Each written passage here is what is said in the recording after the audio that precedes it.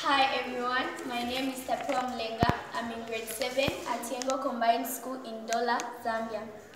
My project for today is organic fertilizer.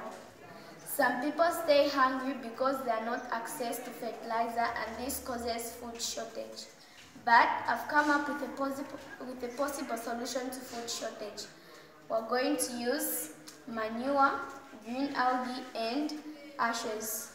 We're going to soak the manure in water, to be like this.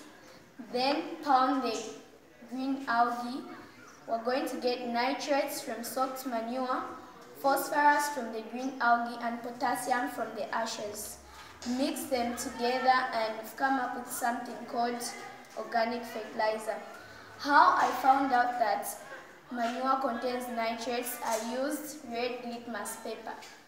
I also grew this maize to find out if this organic fertilizer works very well. Thank you very much for watching my presentation. Stay safe and God bless you always.